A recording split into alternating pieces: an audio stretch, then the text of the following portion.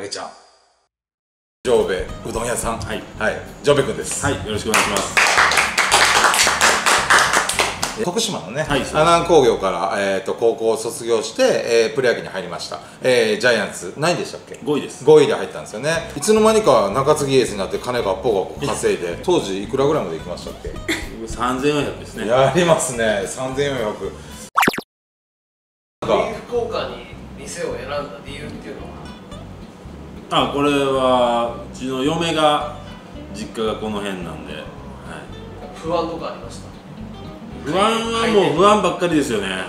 もでもね不安って言うけど野球の時はねすごかったですよ。やっぱり。本当にこいつ高卒で入ってきたのかっていう態度もしてましたし でもやっぱりあの先輩にもこう噛みつくし、まあ、噛むんじゃないですけどもう噛みつくしやっぱりこうえー高卒じゃないだろうっていうのはありましたねうんこの人もでかかったし。う噛みついてはないですけどね。うん噛みついてはないけど。よう怒られてましたけど。ね、はい。お前みたいなね、言われてたけど、まあ、ちゃんと結果残してあれしたんであの良かったんですけど、まあ、練習は真面目だしその点ねやっぱり真面目なところがやっぱりこのうどん屋さんを続けられてるっていう秘訣でもあるしもうぜひぜひなんかその真面目なそのコシの入ったうどんを食べに来てもらいたいなと思いますけどね僕は、はい、なんかあの質問とかなんかないんですか？その小田さんとの巨人時代の深い話というかあんまりみんなに話してないなっていううん。深い話をちょっと聞きたいなと思って。なるほどなるほど。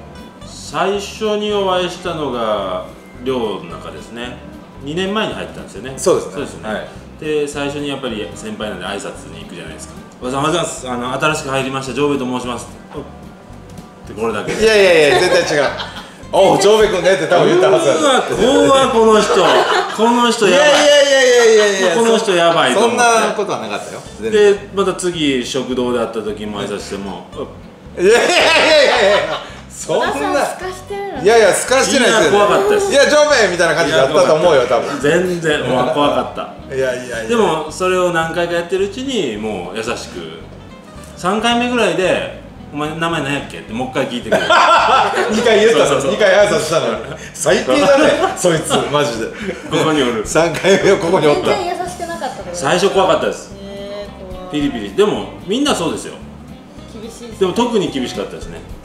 だからいろいろそのもうプロなんであんまりみんな言えないですけどその洗濯物であったりいろんな靴の揃え方であったり細かいことすごい教えてくれました言うの面倒くさいと思うんですけどこれはお前ちゃんとやるやんっていうのあーすごい言われましたね。うん。あのーそれはでもあの自分がねやっぱり失敗してきたっていうのもあるしジョーは話していくうちにあ俺の匂いがすると思ったんですよね。高卒だったけどなんかこう仲良くなりそうな感じがしたんで僕あんまり先輩後輩あんまり好きじゃなかったんであうえって言ったかもしれないけどなんかこう同じ匂いがしてきたんで僕の失敗はあんまりこうやらしたくないっていうのはあったからでもどうでもいいやつだったら多分言わないと思うんですけどジョーにはやっぱりこうしとった方がいいよこうしとった方がいいよって多分そういう優しい言い方じゃなかったと思うんだけどやっとけよっていうのを先回りで多分同じことをしててあの怒られた多分同級生とか多分その後輩とかいると思うんですよね。だからそれをあの最初にジョーに教えてたと思うんですよね、そこを、うん、それはそうだと思う。でもちょっと言い方がちょっときつかったかなっていうのがありますよねプライベートとかで一緒にご飯行ったりとかしまあ全然行きました。行きました全然。はい。はい全然行きました。へ全然行きました。もうそれ今日おこ前店取ってこいよってバーって。あそこ空いてるから見てこいって。行ってきますって。そ めっちゃ悪い。ああでもでもそれもあったかもしれないあ,、ったかもしれんけど本当に。でも一回寮で小田さんの車のここが空いてた時があったんですよね。遠征行っててね。あの三三三三はい。それで雨降ってきたんですよ。でどうしようかなと思って。これ言うてし寮長が多分鍵持ってるんで言うたら多分閉めてもらえるんでしょうけど、ちょっといろいろ僕にも溜まってたもんでああそうやったの？これ黙っとったらどうなるんやろうなそんなことがありましたいやいやびっちゃびちゃやった。びっちゃびちゃ やったマジで本当びっちゃびちゃやったちゃんとかけといてくれんや結構あれ知ってだったんだ。結構雨降りましたね、うん。知ってだったんだね。そう違うねあれね多分遠征に行ってて忘れてて。で多分ね、まあ、残留だったんだ。そうですそうです。でで誰かに言わなあかんって言って寮長に言ったんだけど多分その前に知ってたのにお前は言わなかったわけやね。いやもうろ覚えですけどね。今知って言ってたよ今知ってお前がそれあれしたんだね。あれだいぶ本当水溜まってたから。だいぶ結構降っとった。結構降りましたよ。で帰ってきたらなんかあの鍵がやっぱりなかったんで、うん。ブルーシート引いてたよ。うん。上にバーって、うん。どうしたんですかって100の顔で。最低だよね。今初めて聞いたそれ。本当に。最低の男ですよ。だからだからやっぱり俺が優しく扱ってたら優しい口調で言ってたらあのジョーベがそのブルーシートを引いてくれてたかもしれないけどやっぱりあの自業自得っていうやつですねこのジョーベのまあまあそういうことをやっぱりハプニングがあった。そうですね。はい。ハプニングじゃないよね、はい。知ってたからハプニング。いいやでもほんまにほんまちゃんとせなあかんと思ってちょっと忘れてしまっただけなんですよ。ほんまにほんまに嘘ばっかりまあでもねこんな感じだったんです本当にマジで楽しかったです量は面白かったですねねはいいろいろあってであの2軍の球場行くまでも近かったんでもうあの何かと面白かった、意地悪だったんですね。うん、僕ですか？僕全然意地悪じゃないよ。だってあんまり司会されてるじゃないですかあんまりあ仕返しというかあそれほんまに忘れてただけなんですよ。今ちょっとちょっと持って言っただけで。なるほど。まあでも本当にみんな小田さんは一目やっぱ置いてたんで。よう言うわ全然全然。だからやっぱ年下はなかなか挨拶できなかったですね。そんなことないよ。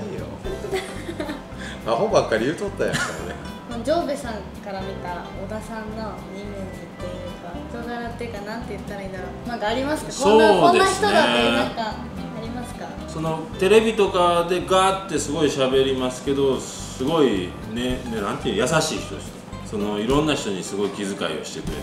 ちょっとカメラ回ってなかったからもう一回もう一回言ってもう一回もう一回。あんま優しくない。変わったの変わったの。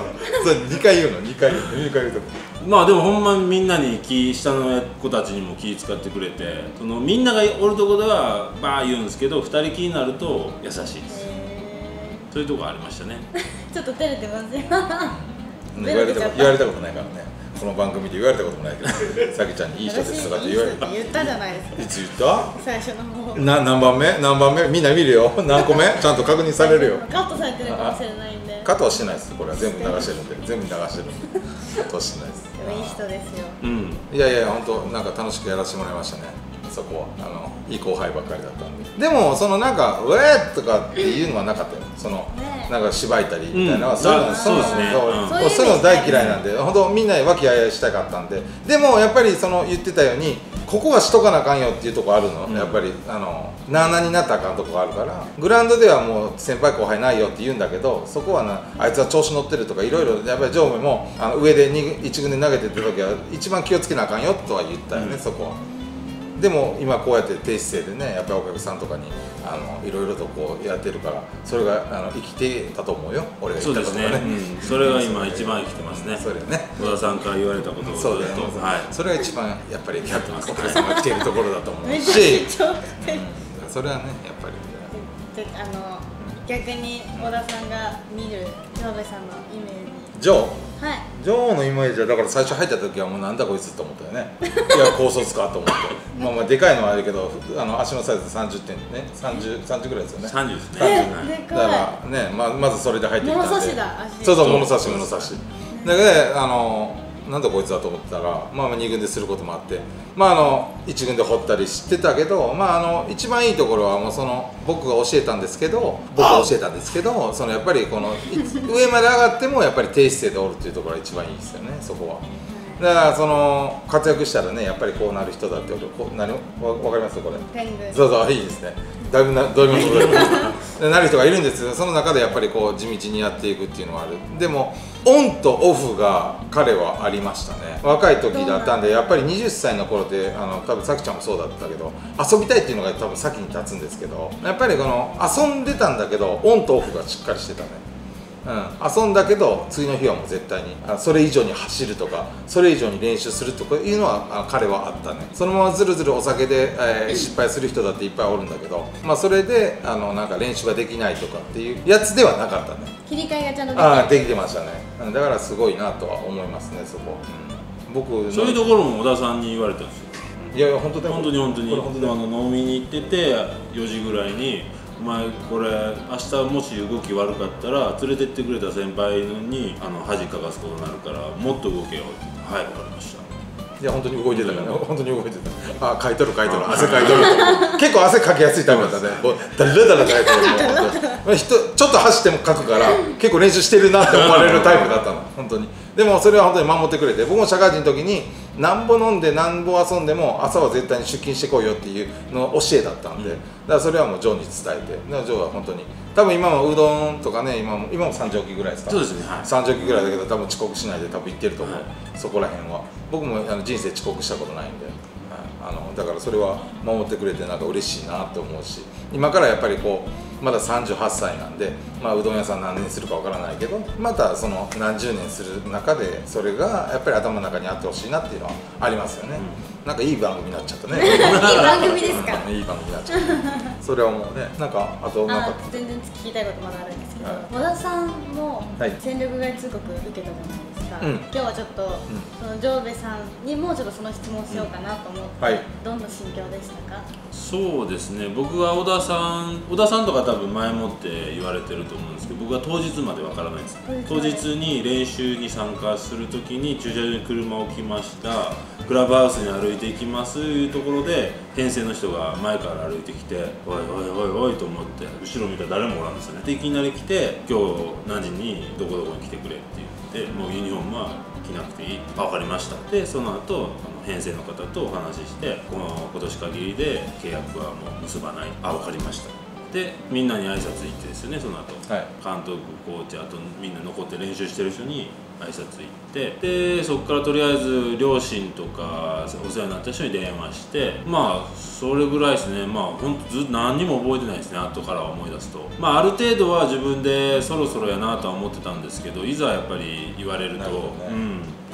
真っ白になりましたね。野球しかやってきてなかったんでそれを取られるっていうのは考えたけどいざ突きつけられると真っ白になりましたね。でもやっぱり言ったように野球で失敗しても野球で返せるからっていうのはあるけどその場に立てなかったらどうしようかなっていうのはあるよねやっぱりね。うんそうですね。何したらいいんやろってなるよね。なりますね。俺はパン屋さんするのか 何やかするのか。ってそなるよねう本当にいや本当そうやね。本当にそうやね。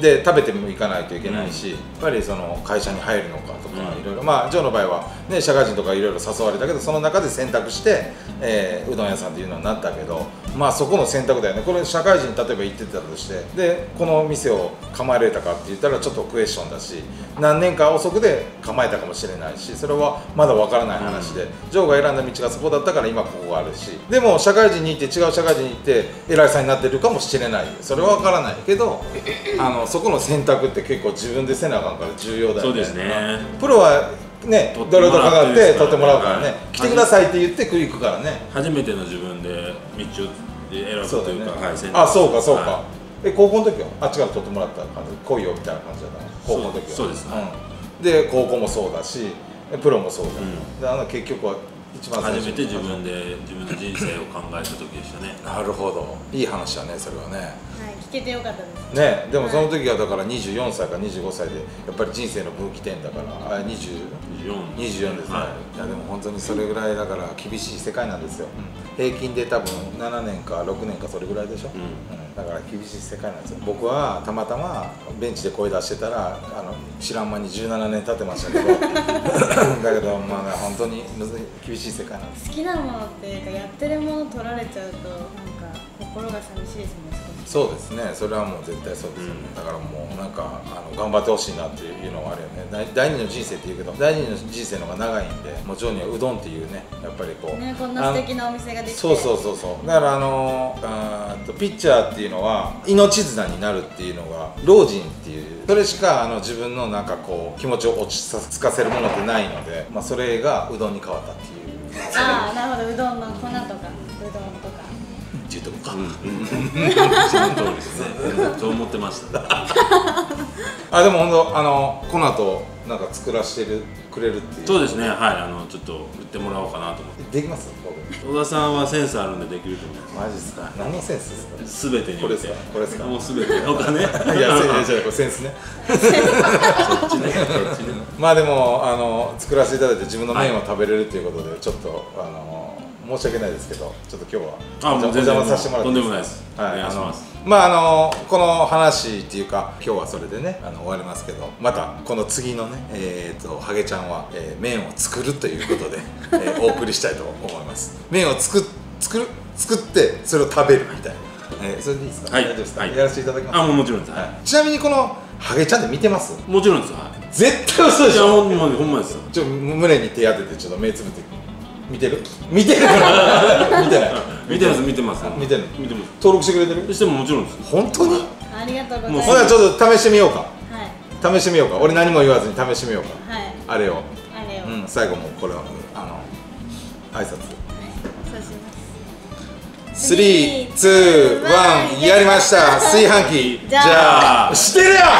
知ってるやもちろんですよ。ん知ってるやん。登録してるやん。もちろんですよしてるって言ってたじゃないですか。じゃあじゃあ